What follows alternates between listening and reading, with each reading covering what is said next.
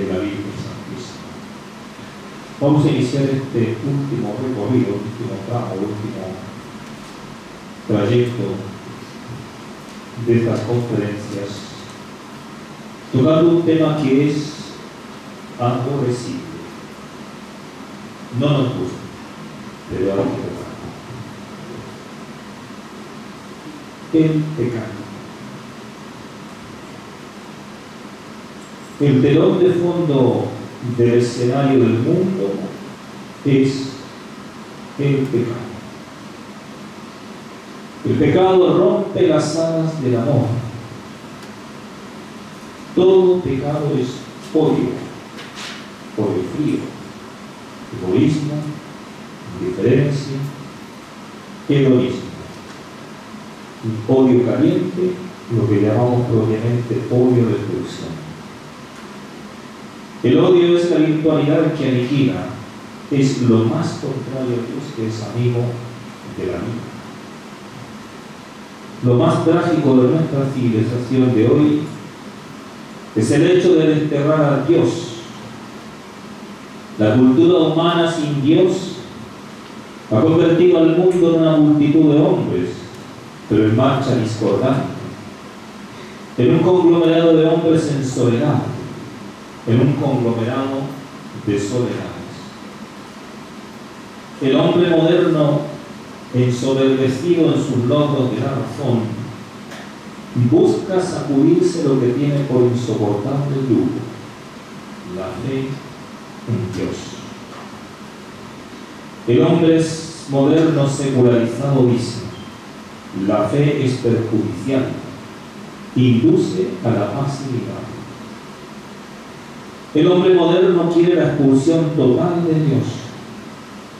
El único culto que admite es el culto del propio hombre.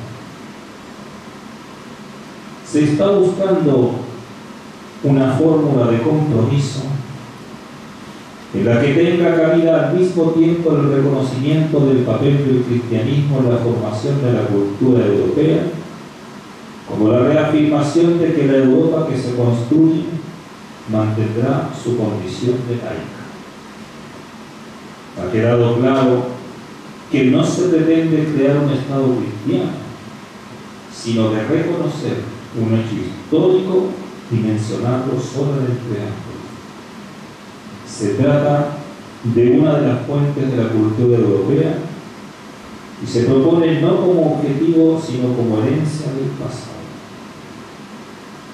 Un tercio de los países gastan más en lo militar que en servicios sanitarios. Los países de África, Asia, Oriente Medio y América Latina se gastan una media de 22 mil millones de dólares al año en armas, solo solo la mitad de esa cantidad permitiría que todos los niños de estas regiones fueran a la escuela ¿Te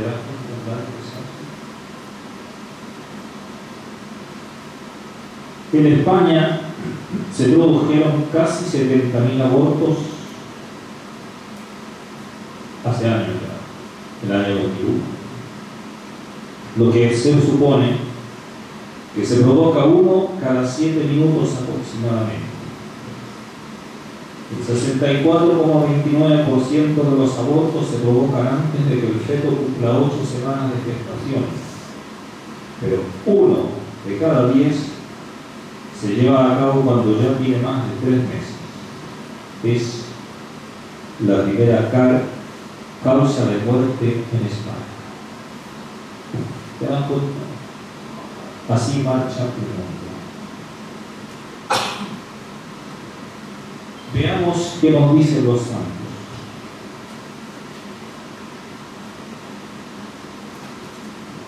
Santa Teresa de Jesús, lea las obras de ella, en el capítulo, creo que por ahí el 32, la autobiografía, describe el infierno, Dios mostró el infierno que estaba destinada, si no se dejaba de, de la monja de clausura, pero teníamos que andar con tantas veces yendo al locutorio, aprender a uno, a otro, a otro, a otro, la desconcentraba de su vocación. Y el Señor, para que cortara con eso, le mostró lo siguiente. Santa Teresa de Jesús describe el infierno de esta con un lenguaje de castellano antiguo, siglo XVI, ahora. Parecía la entrada a manera de un callejón muy largo y estrecho, a manera de horno muy bajo y oscuro y angosto. El suelo me pareció como lodo muy sucio y de, pestilencial olor, y muchas sabandijas malas en él. Arcado, nada. Había una concavidad metida en una pared, a forma de una alacena, donde me vi meter en muchos trechos. Ahí me metí. Y ahí quedó no se podía mover. Todo era deleitoso a la vista en comparación de lo que dicen. ¿Qué sintió? Oiga, sentí un fuego en el alma que yo no puedo entender cómo poder decir de la manera que es los dolores corporales tan incomportables con, que con haberlos pasado en la vida, en, en gota, vida gravísimos, y según dicen los médicos, los, mayores que se pueden pasar acá, porque fue encogérseme todos los nervios cuando me tullí, y aun algunos causados por el demonio. No es nada, dice la santa, no es todo nada en comparación de lo que allí sentí y ven, ver que habían de ser sin fin y sin jamás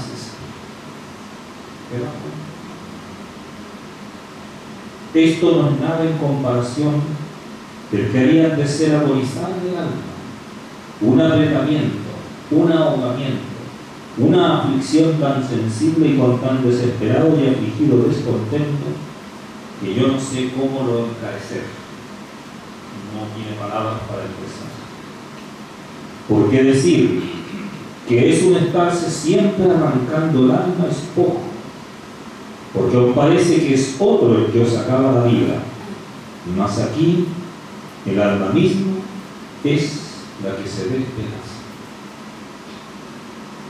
Estando en tan pertinencial lugar, tan sin poder esperar consuelo, no hay sentarse ni echarse, ni hay lugar, aunque me pusieron este, como agujero hecho en la pared. Porque estas paredes, que son espantosas a la vista, aprietan ellas mismas y todo ahogan. No hay luz todo es tinieblas oscurísimas. Yo no entiendo cómo puede ser esto, que con no haber luz, lo que a la vista de dar pena, todo se ve. No hay luz en el infierno. Te hace tiempo. Pero se ve todo. Y el quemarse acá es muy poco en comparación con este fuego de allá. Después acá, como digo, todo me parece fácil en comparación de un momento que se haya de sufrir lo que yo en él padece. Así son los santos. Así son los santos. Y las memorias de la hermana Lucía, que las puede enfocar en cualquier librería, las memorias de, San, de Santa, de Lucía, la, la niñita más grande que yo la vi en Fátima en 1927, ella escribió las memorias. Aquí hice algunos pedidos que ahora no recuerdo. Lo que recuerdo es que Nuestra Señora dijo que era preciso rezar el rosario para alcanzar las gracias durante la y continuar, sacrificados por los pecadores, y decir muchas veces, y especialmente cuando hagáis un sacrificio, oh Jesús, es por tu amor, por la conversión de los pecadores y en reparación de los pecados cometidos contra el Inmaculado Corazón de María. Atención ahora lo que viene. Al decir estas últimas palabras, abrió de nuevo las manos como en los meses anteriores. El reflejo parecía penetrar en la tierra y vimos como un mar de fuego y sumergidos en este fuego los demonios y las almas como si fuesen brasas transparentes y negras o bronceadas de forma humana que fluctuaban en el incendio, llevadas por las llamas que de ellas mismas salían en el infierno el fuego no está fuera de ti, lo llevas dentro. Tú eres fuego. Eres fuego. O sea, no puedes huir, no puedes decir, aquí está el fuego, yo estoy acá, no me quedo. No, el fuego está dentro de ti.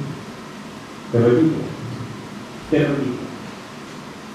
Porque eso tenemos que asimilarlo para que nos dé pena y lástima por tanta gente que dice, no, si el infierno está aquí, mentira.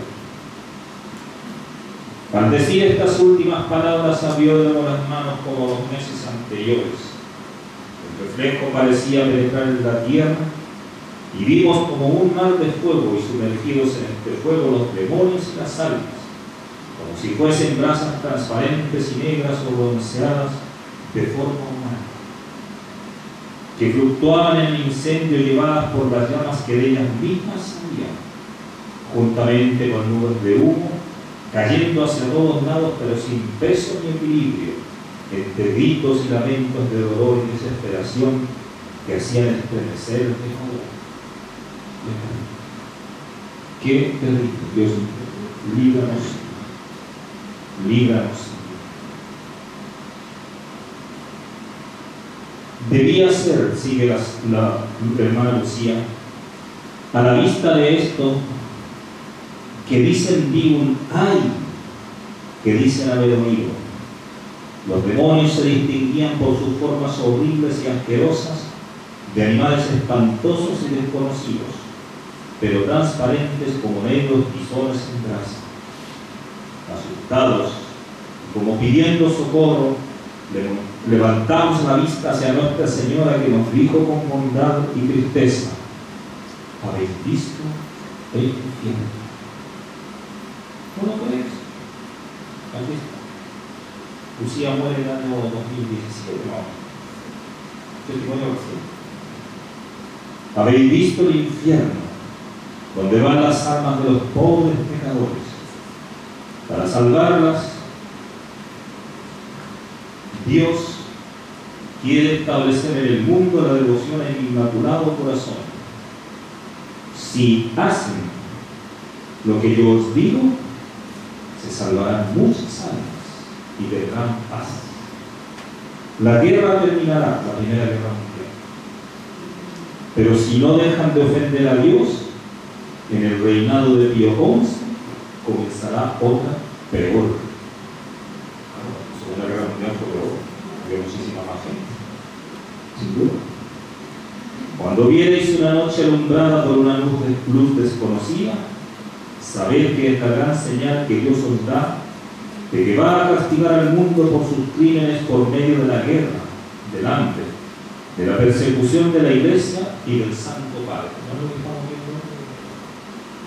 no lo que estamos viendo hoy. Para impedir eso, vendré a pedir la consagración de Rusia, menciona especialmente Rusia.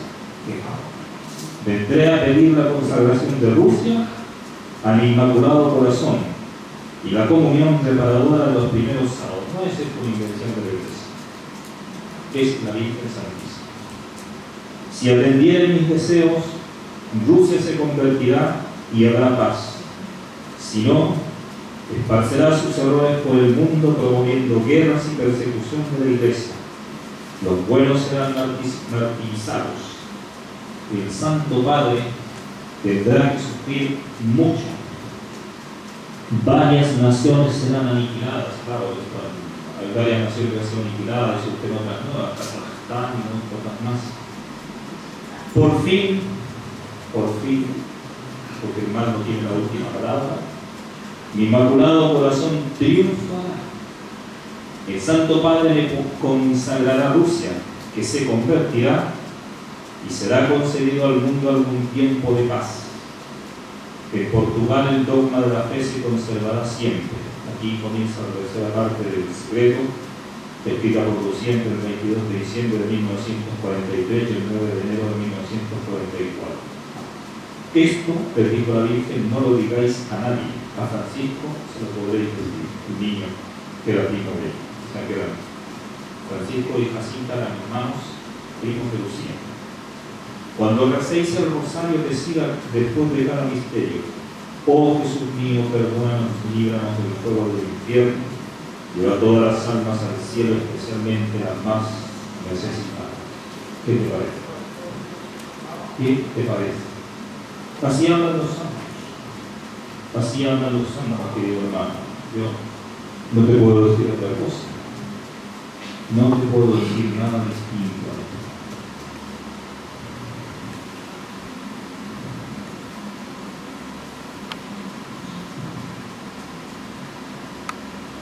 Pero también existe el cielo.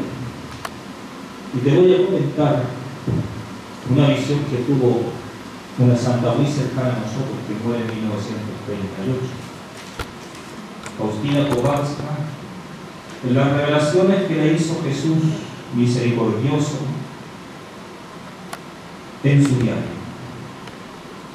Hoy, dice la santita, en espíritu estuve en el cielo y vi estas inconcebibles bellezas y la felicidad que nos espera después de la muerte. Vi como todas las criaturas dan incesantemente honor y gloria a Dios.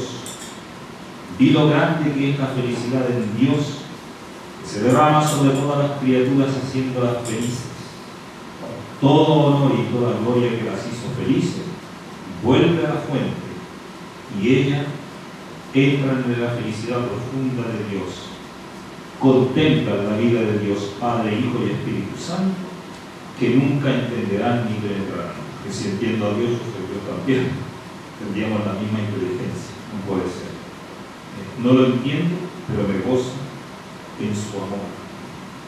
Esta fuente de felicidad es invariable en su esencia, pero siempre nueva, que como ayer existe el aburrimiento, que ya hemos dejado la condición humana. Yo aquí no aburro, pero allí no existe eso. Pero siempre nueva dotando para ser felices a todas las criaturas. Ahora comprendo lo que dice San Pablo, ni el ojo vio, ni el oído oyó, ni entró al corazón del hombre lo que Dios ha preparado para los que lo aman. O sea, no hay nada sensible a lo que tú puedas asimilar con tus sentidos, la felicidad del cielo. San Pablo toma ese texto del libro del profeta Isaías. Ni el ojo vio, ni el oído oyó, ni entró al corazón del hombre lo que Dios ha preparado para los que lo aman. Y Dios, sigue la santa, me dio a conocer una sola y única cosa que a sus ojos tiene el valor infinito, y este es el amor de Dios. Amor, amor y una vez más amor con un acto de amor puro de Dios nada puede compararse. Oh, qué inefable favores Dios concede al alma que lo ama sinceramente. O felices las almas que ya en la tierra gozan de sus particulares favores, y estas son las almas pequeñas y humildes, los olvidados, los que nadie agarra. Esta gran majestad de Dios que conocí más profundamente que los espíritus celestes adoran según el estado de la gracia y jerarquía en que se dividen. Al ver esta potencia y esta grandeza de Dios, mi alma no fue conmovida por espanto ni por temor. No, no, absolutamente no. Mi alma fue llenada de paz y amor. Y cuanto más conozco a Dios, tanto más me alegro de que Él sea así. Y gozo inmensamente de su grandeza. Y me alegro de ser tan pequeña, porque yo, por ser tan pequeña, me lleve en sus brazos y me tiene junto a su corazón. ¿Qué te parece? ¿Ve? El cielo, del infierno. No te desesperes, porque esto es lo que hay, lo que el Señor nos presenta, lo que nos ofrece. Vamos a considerar ahora los pecados que vemos en la Sagrada Escritura. Libro de los Hechos de los Apóstoles, capítulo 2, versículos 36 al 38. Dice ciertamente, sepa toda la casa de Israel que Señor y enviado hizo Dios a este Jesús, al cual vosotros habéis crucificado. Oídas estas cosas, se conmovieron en su corazón, se arrepintieron de verdad y el pueblo que se volvió a San Pedro y el resto de los apóstoles y les dijeron, hermanos, ¿qué tenemos que hacer? Pedro les contestó, cambiar totalmente de mentalidad y bautícese cada uno de vosotros en orden a conseguir el pecado, el perdón de los pecados. Y una vez hecho esto, recibiréis el don del Espíritu. Bonito. Cuando tú te confiesas, apartas, quitas todo lo que impide que el Espíritu Santo encuentre una pista para en tu vida. ¿Ves? Todo, queridos hermanos, en la historia de la salvación depende de la guerra contra el pecado. Ya lo ven en práctico en este sermón programático de San Pedro. El fin de la predicación, el perdón de los pecados. Para entrar en la iglesia, querido hermano, hay que entrar por la puerta una vez barrido el pecado. Encuentro allí cajas, sillas, mesas, no puedo entrar hay que barrer, apartar, y una vez que esté limpio, puedo entrar en la iglesia. Arrepentíos, dice San Pedro. Esta disposición interna que me pide Dios para entablar enemistad conmigo es que ya no quiera saber nada con esta Perfecto. Y realizada esa estructura externa esa condición externa que pone Dios, que es el bautismo, que todo Él simboliza. Y una vez que estamos arrepentidos, Dios nos da el perdón, viene el Espíritu Santo y nos da una manera de ser divina, mediante la cual ya podemos cumplir toda la ley de Dios. Ya podemos incoar el trabajo en orden a llegar a la comunión, a la unión con ese centro de gravedad universal que se llama Dios. Este es el enfoque de San Pedro.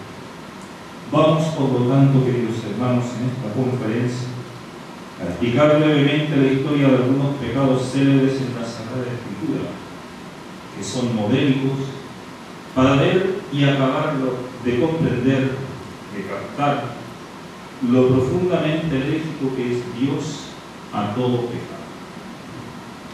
Y comenzamos en el capítulo 10 del libro de Samuel, pecado de Saúl. Es muy importante este pecado para que conozcan ustedes esa alergia infinita de Dios, Dios hoy, de la asco, de la náusea, tu. Tomó Samuel, el profeta de Dios, su cuerno de aceite y lo derramó sobre la cabeza de Saúl después lo besó, diciendo, ¿no es Yahvé quien te ha ungido como jefe de su pueblo Israel? Tú regirás al pueblo de Yahvé y lo librarás de la mano de los enemigos. El profeta Samuel unge a Saúl por mandato de Dios y luego lo besa en señal de que Dios lo había admitido y lo había declarado jefe del pueblo elegido Israel. O mayor predilección no puede haber. Imagínate. Es decir, lo puso como delegado suyo en el único pueblo en el que Dios comenzaba a aterrizar y a entrar después del pecado de Adán y Este es mi elegido, aquí te consagro y te dejo como nuncio de Dios. Y le dijo, Tú regirás al pueblo de Dios, lo librarás de la mano de los enemigos. Y esta es la señal. Cuando te encuentres en tales circunstancias, te invadirá el Espíritu de Dios y quedarás cambiado en otro mundo. O sea, no solamente le había dado autoridad para regir al pueblo, para darle líneas de conducta, sino que le había dado todo el poder toda la capacidad de hacerlo, la energía para hacerlo. Es decir, el Espíritu Santo. ¿Y qué hace Saúl? Saúl pecó consecuencia del pecado, vean lo que ocurrió. Le dijo Dios a Saúl, mira Saúl, el número de los pecados de los amanecitas ya ha llegado a su punto, a su tope, por los paganos. Ahora viene el castigo. Te hago a ti instrumento de ese castigo, que es como el infierno, lo condenó al infierno. O sea, llega un momento en que Dios condena, pero no condena. Permite que las almas rebeldes a su llamada se condenen, no es que Dios lo quiera pero a veces metemos a Dios en tales circunstancias por nuestra soberbia, por nuestra rebeldía, que a Dios no le queda más que soltar la mano, bueno ya, hagan lo que quieran, porque tiene que respetar mi libertad. Y entonces dijo Samuel a Saúl, vete y castiga a Amalek, consagrándolo al anatema con todo lo que posee Fíjense las palabras que le dice. No tengas compasión de él. Mata hombres, mujeres, niños y lactantes, bueyes, ovejas, camellos y asnos. Así toda la riqueza. Porque la riqueza eran los animales y las tierras. Mátalo todo. Saúl les declaró la guerra y los venció. Pero quebrantó el mandamiento de Dios, es decir, pecó y no consagró al anatema todo como le había ordenado Dios, sino que reservaron del botín lo que consideraban lo mejor.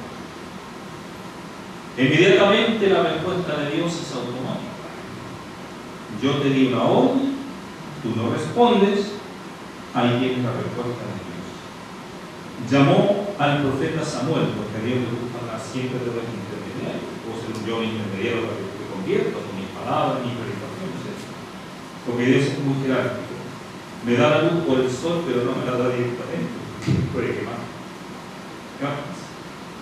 Dios no suele actuar directamente. O sea, que tener cuidado cuando dice, Dios me reveló esto. Cuidado, con precaución, que puede ser que no. Dios me mostró esta visión. Ojo, cuidado. Diez, digas, Dios me reveló Puede ser que Dios permita que te engañes. Dios no suele actuar directamente, siempre como actúa por medio de su Hijo de la Santísima Trinidad, así entre las criaturas, actúa siempre por medio de una criatura para favorecer a otros. Yo tengo mi vocación porque el Padre Manuel Rodríguez Cruz, para estar en Cardenales, me convenció de que estaba yo postulando un trabajo y es que se le usted venga para acá y aquí estoy. Si no hubiera sido obrero, hubiera trabajado, perfecto. Pero el padre Manuel fue así cajando, no, no, no, venga para acá y aquí te vamos a ayudar. Era, era porque pudo haber no era. Por eso es tan necesario irradiar, porque de lo contrario, Dios tendría un contrasentido. Haría la luz y después no serviría para nada. La luz, toda ella tiene que ser un servicio. El agua tiene que ser un servicio. Presta un servicio que debería prestar Dios, porque a todo ser se le sigue un cometido, un servicio. Claro, la comida para qué para que yo me mantenga. Porque si no me desfallezco, me, desmayo y no puedo prestar atención a tu palabra. La comida es un servicio que esas personas me hacen, me preparan la comida, pero nada más. Y entonces Dios llamó a Samuel y le dijo, me arrepiento. Qué palabra Me arrepiento. El haberse arrepentido Dios con Adán trajo la muerte y todas las enfermedades que sufrimos. La misericordia de Dios hizo después esto, la cruz. Pero no quitó la muerte, o sea, todos tenemos que morir. La cruz es símbolo de que permanece perenne el arrepentimiento de Dios de haber hecho bien a Adán. Eso es la cruz. Eso Dios no lo quita. Lo aprovechará para elaborar nueva vida si nosotros queremos. Pero ahí está la cruz en la carne de Cristo. El daño que se produce pecando es tremendo. Tiene arrepentimiento, ya lo verán en Saúl. me arrepiento de haber dado la regresa a Saúl porque se ha apartado de mí y no ha ejecutado mis O sea, nosotros a veces provocamos que Dios se arrepienta. Arrepiento de haberte creado jefe de esta familia, de engendrado hijos. Mira lo que te han ejecutado. Razón última del arrepentimiento de Dios, el pecado que está en la base de todo otro pecado, la desobediencia. Como Samuel conocía a Dios, se llevó las manos a la cabeza y dice la Sagrada Escritura que estuvo clamando a Dios toda la noche, intercediendo por Saúl porque lo. Veía el profeta todo lo que se venía atrás después de ese pecado. Esto para que temas y te frenes antes de pecar no es cosa de poca importancia. No se trata de decir, ya me confesé, no nada. ¿Qué sabes tú si vas a tener vida o boca, voz para confesarte de Dios? No lo sabes. A la mañana siguiente le dijeron a Saúl, a Samuel, perdón, Saúl está en tal sitio. Se dirigió allá y al llegar Saúl lo saludó. Bendito seas de Yahvé ya he ejecutado la orden de Samuel, de Yahvé. Pero Samuel le preguntó, ¿y qué son esos maridos que vienen a mis oídos y esos mugidos que oigo? Y aquí les repuso, la que siempre tenemos. Saúl le respondió, los hemos traído de Amalek, porque el pueblo, yo la el pueblo ha perdonado lo mejor del ganado mayor y menor con intención de ofrecerlo en sacrificio, sacrificio de tu Dios. En cuanto a lo demás, lo hemos entregado todo a la materia. Yo también voy a. Yo no hago mal a nadie, trabajo, tengo mi familia, siempre hay. Pero Samuel dijo a Saúl, basta ya, y deja que te anuncie lo que Yahvé me ha revelado esta noche. Saúl le dijo, habla. Entonces Samuel le dijo, profeta, aunque tú eres pequeño a tus propios ojos, no eres el jefe de las tribus de Israel. Yahvé te ha ungido rey de Israel. Yahvé te ha enviado por el camino y te ha dicho, vete, consagra al anatema y destruye. Todos esos pecadores, los amarecitas, hazles la guerra hasta el exterminio. Acaba con ellos. Acaba con ellos. ¿Por qué no has escuchado de mí? ¿Por qué? ¿Por qué te has lanzado sobre el botín y has hecho lo que desagrada a Yahvé? Los alcaldes, una vez que llegan a la alcaldía, de las cuentas de la MUNI a las cuentas de mi señora, a las cuentas de mi sobrino y después a las cuentas de mí lo que más toque todo mujeres. El alcalde de Renaico, el alcalde de Gustavo, el alcalde de no sé cuánto, el de la hay una, artista, la otra vez. Soy el alcalde, ¿qué me van a hacer? Y después no quieren cumplir la misión que más Porque soy el alcalde.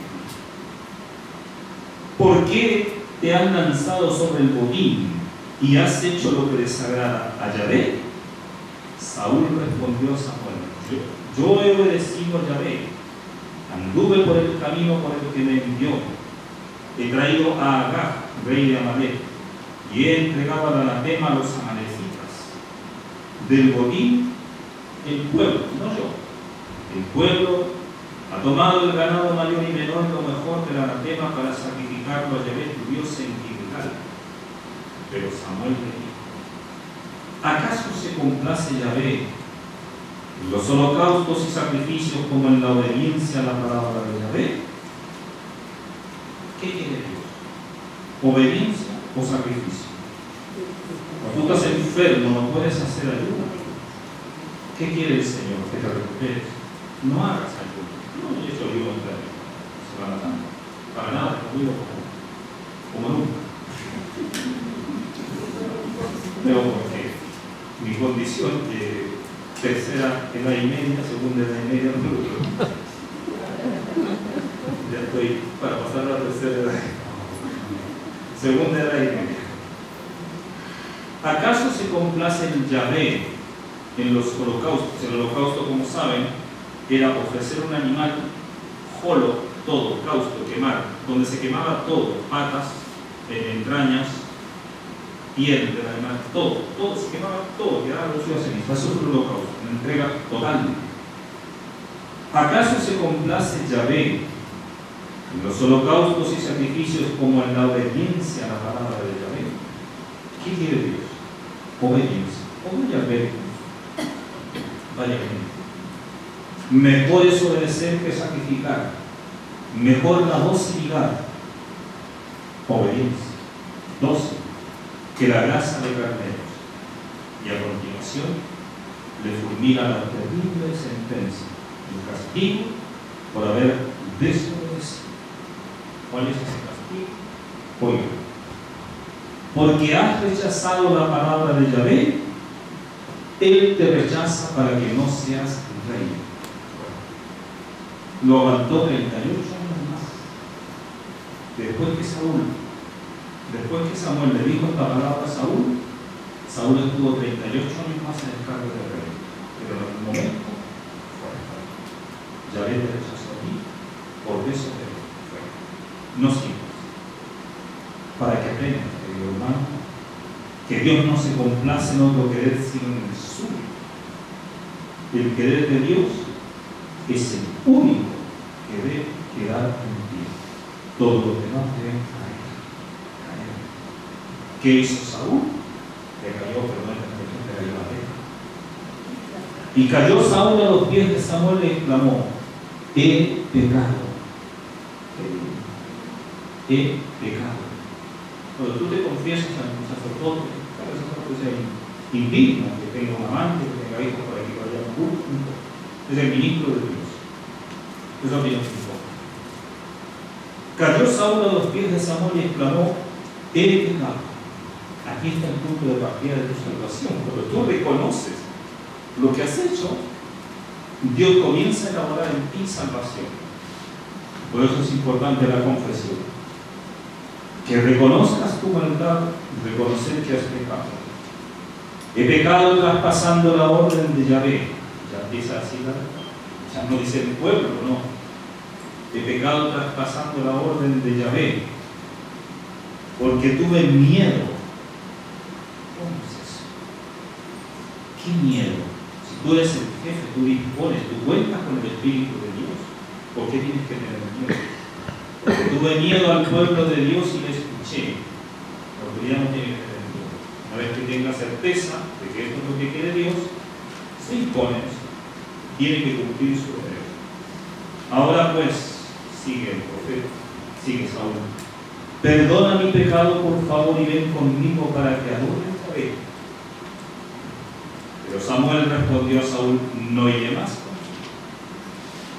No iré contigo, ya que has rechazado la palabra de Yahvé. Yahvé te ha rechazado para que no seas rey de Israel. Y como Samuel se volviera a marcharse, lo agarró del manto y le el manto se declaró, se marchó, y este que estaba aquí le agarró el manto, el manto se declaró, y le dijo, eso es un símbolo, hoy te ha declarado Yahvé el reino de Israel, y se dado a otro mejor que Este manto es símbolo de lo que ha hecho. Ha declarado el manto, ya no tienes la condición de rey. 38 años después, fue. Para que vean. Esta es la historia de la trágica desobediencia de Saúl que le costó nada menos que un rey. Cartas, querido hermano, el daño que hace todo el pecado. Por eso temamos al pecado. No intervenes a Dios como un Dios bonachón, un Dios gordito, medio peladito, sin pan, a todos, eh, a todos los que viven. Sí, claro. Pero hay un orden. Hay un orden quiero compartir contigo, a ver si me encuentro por ahí, una, un testimonio, esto es un testimonio. Porque Dios a algunos santos le ha dado la gracia de conocer a fondo la estructura y la gravedad del pecado. Es un texto de Santa Ángela de Foligno, italiana, no me acuerdo de qué siglo es. Santa Ángela de Foligno. Cuenta al principio del libro de sus visiones e instrucciones que cuando por primera vez tuvo conocimiento de sus pecados, consiguió tan gran temor que tembló con la idea de su condenación. Lloró abundantemente, se ruborizó por primera vez, es lo que te pasa a ti, pero no se atrevió a confesarse y se acercó así a la santa de santa. No era santa de comunión. Se acercó así a la santa comunión. Y escribe ella, con los pecados en el alma dice reescribí el cuerpo de Jesús. Por eso día y noche mi conciencia no me dejaba. Rogué a San Francisco me hiciera encontrar el confesor que necesitaba, alguien que fuera capaz de comprenderme y a quien yo pudiera hablar. Por la mañana encontré en la iglesia de San Feliciano un religioso que predicaba. En aquella época el sermón no iba con la misa, el sermón iba aparte. Después de la misa, 5 de la mañana, media, después venía el sermón, después cerraba la iglesia. Después del sermón quise confesarme con él. Así lo hice detenidamente y recibí la absolución. No sentí ningún amor, sino amargura vergüenza y dolor. Perseveré en la penitencia que me fue impuesta procuré satisfacer a la justicia, privada de todo consuelo y llena de amargura y dolor. Más tarde me fijé por primera vez en la divina misericordia. Comprendí que ella me había librado del infierno y que a ella debía la gracia que estoy contando. Y recibí su primera iluminación el dolor y las lágrimas redoblaron, entonces me entregué a una severa penitencia. Ilustrada por esta luz, no vi en mí sino pecados y comprendí claramente que había merecido el infierno. No tenía más consuelo que Dios. Una iluminación especial hizo ver mis pecados en toda su fealdad. Y así, entendí que ofreciendo al Creador había ofendido a todas las criaturas. Cuando tú pecas, rompen los diez mandamientos. Tú pecas contra el cuarto, contra los otros tres que están arriba y contra los otros seis o siete que van abajo. Es así. Pensando, poniendo por intercesora a la Santísima Virgen y a todos los santos, invoqué a la Divina Misericordia y creyéndome morir, arrodillada, pedí de repente, creí venir sobre mí toda la compasión de todas las criaturas, la piedad de todos los santos, y entonces recibí un gran don. Era un ardentísimo fuego de amor y el poder orar como nunca lo había hecho. Recibí gran conocimiento de cómo Jesucristo había muerto por mis pecados. Comprendí de tal forma la gravedad de mis pecados que me di cuenta de que el autor de la crucifixión había sido yo. Tú estás aquí, eres responsable de lo que Pero todavía no acababa de comprender la inmensidad del beneficio de la cruz. Sigue la. Más tarde, el Señor en su infinita bondad se me apareció muchas veces, tanto en el sueño como de día, puesto en la cruz y me decía, mira mis manos, míralas. Luego contaba los golpes de la transgresión y me decía, estos azotes son por ti, por ti, por ti, por ti. Entonces pedía yo a la Santísima Virgen y a San Juan me dieran a sufrir los dolores de Jesucristo al menos los que sufrieron ellos, y me obtuvieron esta gracia. Un día San Juan me los hizo padecer de tal manera que puedo afirmar que ese ha sido uno de los días más terribles de mi vida. Después sigue la santa. Dios escribió el Padre nuestro en mi corazón, estaba convertido, insistiendo de tal modo en lo grande de su bondad y de mi indignidad que me faltan las palabras para darlo a entender. A través de esta profundísima contrición, entró Santa Ángela de Foligno en el camino de la santidad.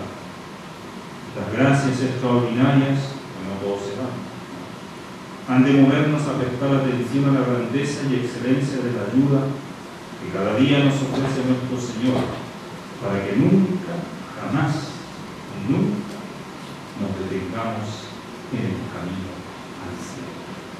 ¿Qué te parece? ¿Qué te parece? ¿Ya ves lo que hizo el Señor con esta santísima, santísima Ángela de Fonillo?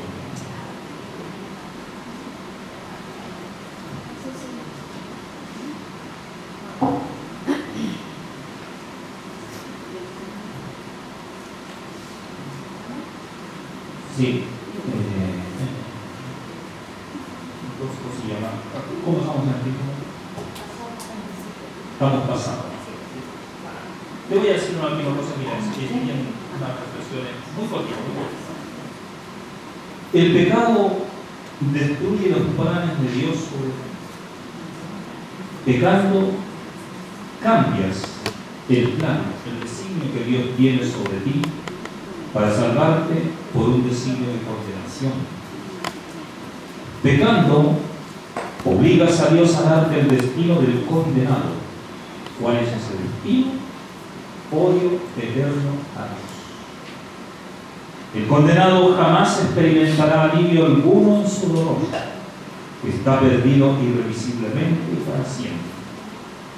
No juegues con tu felicidad eterna, querido hermano. No juegues. El pecado debilita tu voluntad, va minando tus resistencias y te facilita la próxima caída. Eso es lo peor del pecado, es las cosas peores. Pues yo vengo hoy, vengo mañana, vengo pasado mañana, me voy a acostumbrar y después ya se me va a hacer re Te facilita caer en el siguiente. ¿Por qué somos tan débiles para condescender con nosotros mismos y tan duros para lo que nos pide Jesús? Carecemos de las finezas de espíritu que tenía en abundancia Santa Teresita del Niño Jesús, que las, que las tenemos que hacer como los santos. Escúchalo y yo con esto acabo.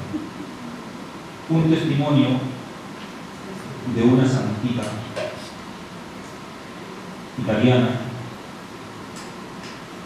Dice ella, otra vez una santa de vida contemplativa. Oraba en la capilla de los turnos, un mendigo le pidió una limosna. Miembro ella misma de una orden de mendicantes, no tenía nada que darle, por eso le rogó a que esperase que ella pudiese volver a casa. No puedo esperar, le dijo el mendigo. La joven se miró a sí misma para ver qué le podía darle cuando ella llevaba encima. Y reparando en la crucecita de plata que pendía de aquella especie de rosario, entonces en uso para llevar las cuentas de, la cuenta de los Padres Nuestros, sin detenerse a pensarlo, se la arrancó y la entregó al mendigo que se marchó feliz. Oigan lo que le pasó. A la noche siguiente, mientras rezaba, se le apareció el esposo llevando en su mano aquella crucecita de plata que resplandecía ahora cubierta de piedras preciosas. No me acuerdo si Santa Ángela de Corillo o la Santilla de la ¿Reconoces, hijita, esta cruz? Le dijo el Señor. La reconozco perfectamente, pero cuando era mía no era tan hermosa. A lo que respondió el Señor. Tú me la viste ayer en un arranque de caridad, como está significado por estas piedras preciosas. Y yo te prometo que en el día del juicio te la presentaré como hasta ahora, como está ahora, para que tu gozo alcance la cumbre de la felicidad en presencia de los ángeles y de los hombres. Y no ocultaré ni permitiré que quede oculto cuando exalte la misericordia y el juicio del Padre, una obra de misericordia que tú me has. Qué bonito. Se desprendió de lo único que tenía, era miembro de la congregación, que tenía voto de pobreza. Entonces le dio un crucifijo. Después se le apareció el Señor. Mira las piedras preciosas. Estudia. Estudia y te la daré en la eternidad. Nada más, queridos hermanos, y Padre. al Hijo, y al Espíritu Santo. como era en el principio, ahora y siempre, por los siglos de los siglos. Amén.